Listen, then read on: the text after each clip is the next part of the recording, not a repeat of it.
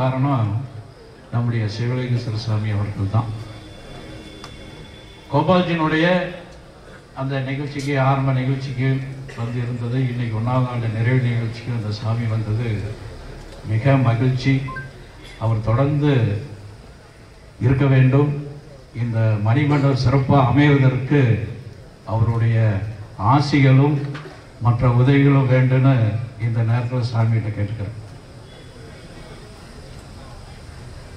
ஆயிரத்தி தொள்ளாயிரத்தி இருபத்தி அஞ்சு வாக்குல ராக்ட்ரி அவர்கள்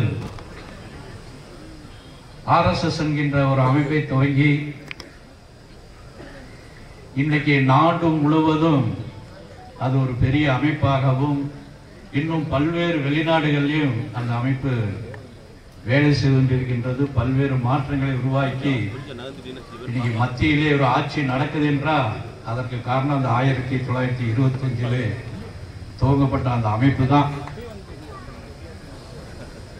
பல்வேறு சாதனைகளை கொண்டு வந்திருந்த செய்தார்கள்.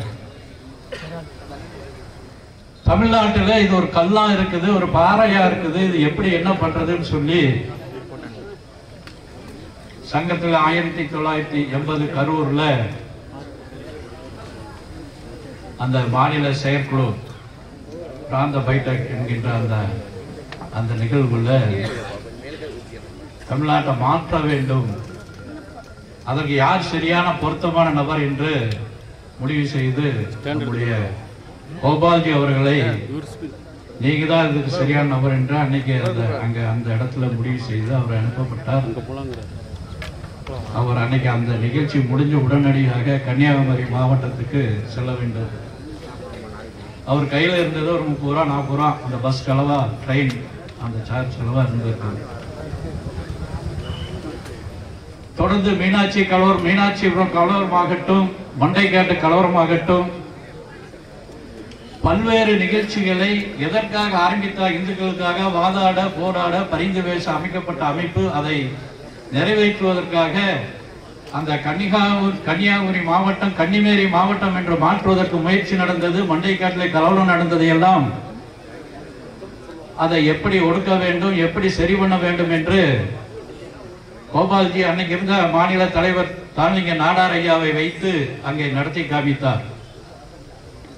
மீனாட்சிபுரம் மதமாற்றம் ஒரு நாட்டுக்கே ஒரு மிகப்பெரிய ஒரு இதை கொந்தளிப்பு ஏற்படுத்தியது. அன்றைக்கு அடல் பகாரி வாஜ்பாய் அவர்கள் அழைத்து அங்கே எப்படி மாற்றத்தை மாற்றத்தை செய்ய வேண்டும் என்று கோபால்ஜியினுடைய முயற்சி மூலியமாக பல்வேறு மடாதிபதிகளையும் சாமிகளையும் அழைத்து அங்கே ஒரு பெரிய எழுச்சி உருவாக்கி அந்த மத மாற்றத்தை தடுத்து நிறுத்தியவர் கோபால்ஜி. அவர் பல்வேறு சாதனைகள். பொள்ளாச்சியிலே மாட்டு தொழிற்சாலைக்காக ஆயிரம் ஆயிரத்தி ஐநூறு ஏக்கரை ஒரு இடத்தை வாங்கி அங்கே மாடுகள் எல்லையாம் அந்த கேரளா எல்லையை ஒட்டி மாடுகளை வெட்டுவதற்கான ஒரு பெரிய ஏற்பாடு நடந்தது.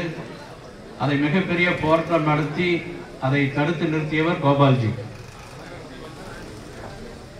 எப்படி விவேகானந்தர் அவர்கள் நூறு பேர் வேண்டும் என்று சொன்னாரோ? அது மாதிரி லட்சக்கணக்கான தொண்டரை உருவாக்கியவர் கோபால்ஜி. இந்த இந்து முன்னணிக்கு பல்வேறு தலைவர்கள் சிறப்பாக செயல்பட்டிருக்கின்றார்கள். முக்கியமான தலைவர்கள்லாம் இருந்து செயல்பட்டிருக்கின்றார்கள். நான் ஒரு சாதாரண சின்ன அந்த நகர பொறுப்புல இருந்தவன். ஈரோட்டில் அறிவித்தார் என்னை. எனக்கே ஒரு பெரிய ஆச்சு நமக்கு அவ்வளவு முடியுமா? அப்படி ஒரு கேள்வி மனசுல இருந்தது. திருப்பி அதற்கு பதில் கிடைச்சது. அதனுடைய கட்டமைப்பு நாம் ஒன்றும் பெரிய சிரமப்பட வேண்டியதில்லை. ஹிந்துனுடைய கட்டமைப்பு அது மாதிரி இருக்குது. வழிகாம்பதற்கு ஒரு டீம் இருக்கின்றது மாநில டீம். அவங்க என்ன சொல்வதை நாம் சொல்வதை செய்தா போதும். ஒன்றும் தலைவர் என்ன செய்ய வேண்டியதில்லை அப்படிங்கிற ஒரு சூழ்நிலையை உருவாக்கியவர் கோபால்ஜி. இன்னைக்கு பட்டி தொட்டி எல்லாம் ஹிந்து முன்னணி அப்படின்னா அரசு அதிகாரிகளும் சரி பொதுமக்களும் சரி இன்னைக்கு வரவேற்கக்கூடிய ஒரு சூழ்நிலை மாறி இருக்குது. ஆனா ஒரு காலகட்டத்தில் எப்படி இருந்தது? ஏதாவது ஒரு நிகழ்ச்சி நடக்கணும்னா ஒரு கடையில கரண்ட் கேட்டா தரமாட்டான். அப்படி கொடுக்கணும்னு நினைச்சோன்னா இருக்க கம்யூனிஸ்டுக்காரன் நக்சலைட்டுக்காரன் தீக்காக்காரன் போய் வரட்டி நீ கொடுக்காதேன்னு சொல்லுவான். கொடுக்க மாட்டான் பயந்துக்குவான். ஏன்னா நம்மகிட்ட இருக்காங்க ரெண்டு பேர் மூணு பேர் அப்படிதான் இருந்தாங்க. இன்னைக்கு சூழ்நிலை மாறி இருக்குது. இன்னைக்கு நாம் ஏதாவது நிகழ்ச்சி நடத்துறோம்னா என்ன நீங்கள் ஒன்றும் வரக்கானா? என்ன வேணும் உங்களுக்கு? அப்படி கேட்கக்கூடிய சூழ்நிலை இப்போ மாறி இருக்குது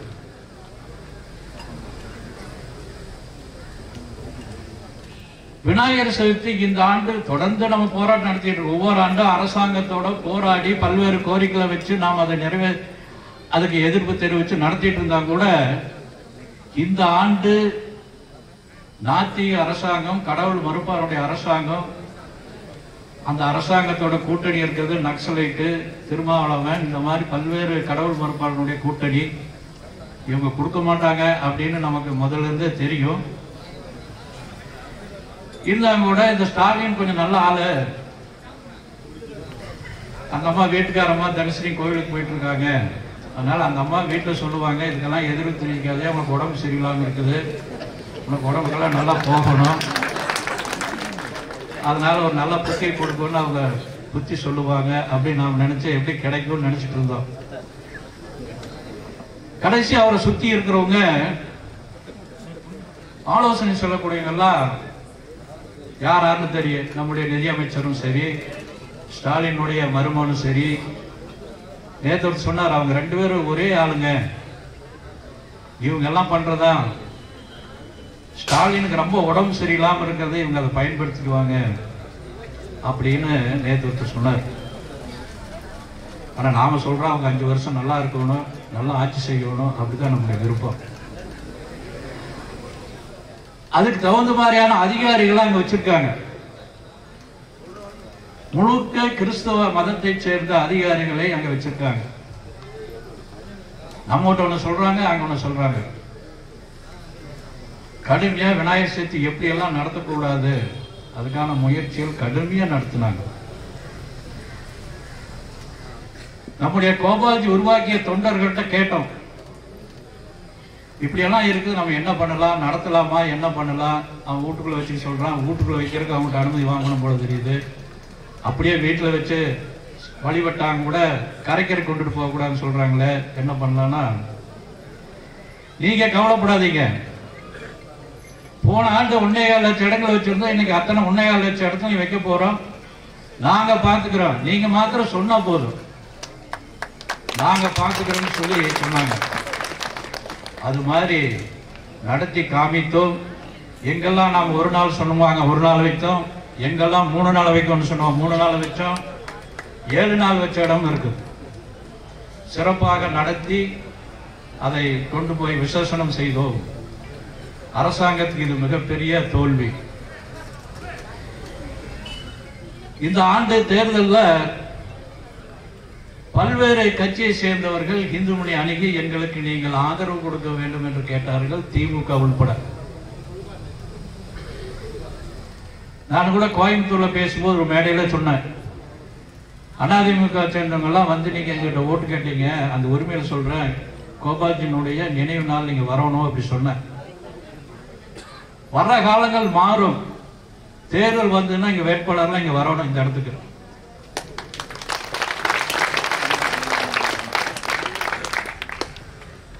அப்பதான் அவங்க ஜெயிப்பாங்க. அந்த சூழ்நிலை வந்து கொண்டிருக்கிறது மாறிக்கொண்டிருக்கின்றது. கோபால்ஜினுடைய விதைத்த விதை இன்னைக்கு ஆலமரமாக வளர்ந்து கொண்டிருக்கின்றது. அவர் கண்ட கனவு ஒவ்வொரு பஞ்சாயத்து அப்ப சொல்லுவார் பன்னிரெண்டாயிரம் பஞ்சாயத்தில் பன்னிரெண்டாயிரம் தலைவரை உருவாக்க வேண்டும் என்று. அந்த கனவு கிட்டத்தட்ட தொண்ணூறு பெர்சன்ட் நிறைவாகிவிட்டது. வருகின்ற இந்த மூன்று நாலு ஆட்களுக்குள் நம்முடைய முருகாஞ்சி சொன்ன மாதிரி வருகின்ற ரெண்டாயிரத்தி இருபத்தஞ்சு ஆர்எஸ்எஸ்னுடைய நூறாவது ஆண்டு. அந்த ஆண்டிலே ஒரு மிகப்பெரிய எழுச்சியை கொண்டாடுவோம். அதுக்கு முன்னாடி நடைக்க- நடைபெறுகின்ற தேர்தலையும் கூட இங்க யாரெல்லாம் வந்து கோபால்ஜினுடைய சமாதியில் ஆசீர்வாதம் வாங்கிட்டு போறாங்களோ அவங்களுக்கு தான் நம்முடைய இந்து ஆதரவு இருக்கும் என்று இந்த நேரத்தில் தெரிவித்துக் கொண்டு அனைவரும் இங்கே வந்தவர்கள் அனைவருக்கும் நன்றி சொல்லி விடைபெறுகிறேன். நன்றி வணக்கம்.